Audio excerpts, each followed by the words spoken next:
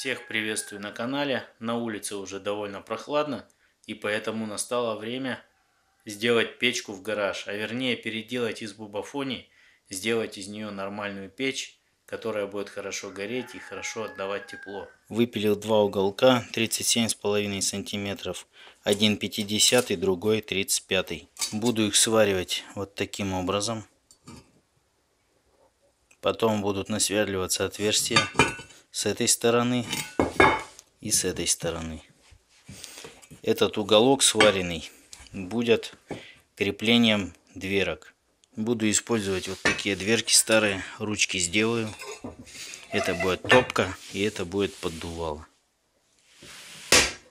По высоте верхняя дверь 22, нижняя дверь 16 и так будет 27 сантиметров. Также с прошлого раза у меня оставались вот такие вот вырезки. Их я сейчас и буду использовать. Немного подправил я их. И вот получилось две вот таких заготовки. 18 сантиметров. 37 с половиной сантиметров.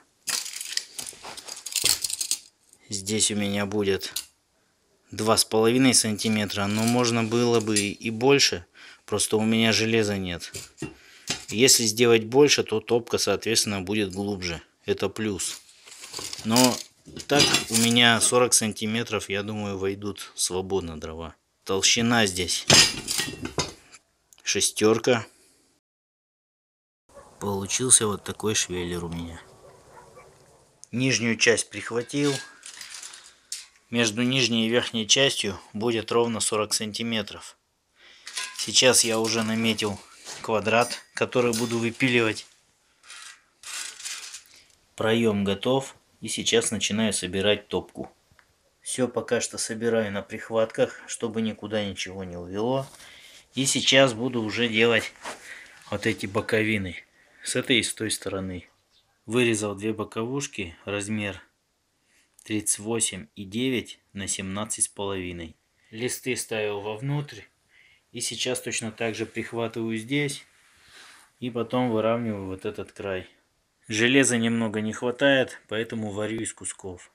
Длина этой перемычки 36,8. Начинаю сверлить отверстия, чтобы можно было вот эти дверцы закрепить болтами. Вот так вот это будет все сделано. И еще одна дверь будет с этой стороны. Скрутил я дверцы и можно ставить на место. И теперь я его сейчас свободно выровню и прихвачу. Заготовил два 50 уголка по 12,5 сантиметров. Они будут привариться вот с этих сторон. Это для колосника. Все проварил. На этих уголках будет держаться колосник самодельный. Дальше сейчас тоже еще буду наваривать уголки по всему периметру. Колосник я буду делать вот из таких старых накладок железнодорожных от рельсы. В общем, смотрите, как все подходит.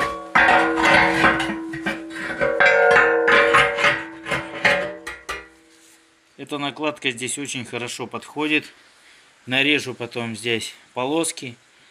Она толстостенная, металл хороший, я думаю, что не хуже будет, чем заводской колосник. Останется еще одну накладку такую найти и дальше продолжить туда. Вот так выглядит все это дело сверху. Дальше пущу по 16 сантиметров вот такие два уголка наискосок с этой стороны и с этой стороны. Упоры для колосника готовы и проварены. Обрезал одну накладку и все здесь очень хорошо встало. Я, наверное, все же сделаю дыры вместо полосок. Думаю, что будет лучше так. С этой стороны тоже все хорошо лежит. Никуда ничего не двигается. Теперь вырезаю куски металла вот в эти места. Будут они привариваться вровень, чтобы все здесь было ровно. Для верхних дверей размер 6 на 21 сантиметр. И для нижней дверки два куска 5,5 на 14. Отверстия готовы. Здесь тоже все подготовлено. Сейчас ставлю дверцы Прикручиваю их и уже провариваю все конкретно здесь. Перед весь проварил. Сейчас приступаю к внутрянке. Вырезал перегородку. Все плотно подходит. И сейчас я ее поставлю туда вниз. Протолкну вот до этого места. Тут 10 сантиметров оставлю. Чтобы огонь мог в нее упираться, нагревать. И проходить вот через вот эту щель выше. 40 сантиметров от верха. И получилась вот такая перегородка. На первую перегородку выложил кирпичом красным, чтобы он поглощал жару.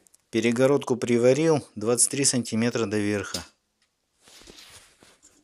Здесь расстояние 11 сантиметров.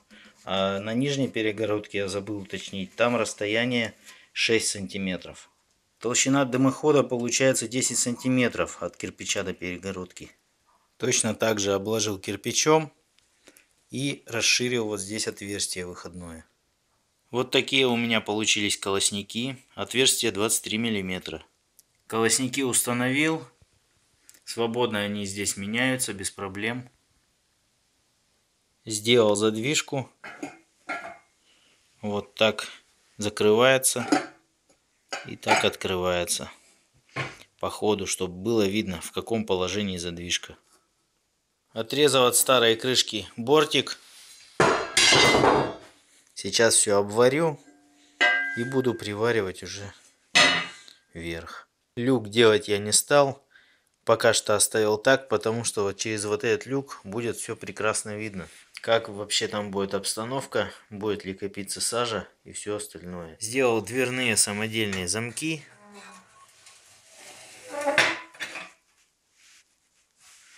Печь готова, осталось совсем немного декора внести. Ну и вот я ее выставил, где она будет точно стоять, как будет стоять. Обчертил мелом границы. Решение как бы у меня пришло само собой. Фундамент под нее я тут делать не стал. Я тогда пояснил в видео, когда яму в гараже делал, почему. И в общем я решил, что сейчас я буду засверливать дыры, там где нет балок и вколачивать трубы в землю. И потом эти трубы обвяжу и будет крепкий металлический каркас сваренный. Решил обложить вот так все кирпичом, чтобы кирпич собирал весь жар на себя. Думаю, что получится неплохо. Вверху закрепил так называемый маятник, чтобы отцентровать трубу. Да, кстати, я забыл вам сказать, что эта печь сейчас вот в таком виде весит где-то приблизительно около 150 килограмм. Она очень тяжелая. Просверлил дыры, столбушки заготовил, шестидесятка, длиной 1 метр. Покажу. Столбушка уперлась в землю и вот 58 сантиметров сверху торчит. Заколачиваю столбушки, две штуки я уже вбил, заходят они туго. Каркас сварил из профиля 80 на 40 выровнял его по уровню. И сейчас вот эту середину заварю десяткой. Есть у меня десятка немного. Станина полностью готова. Все плотно здесь. Все по уровню так что сейчас приступаю уже к установке печи. По размеру 63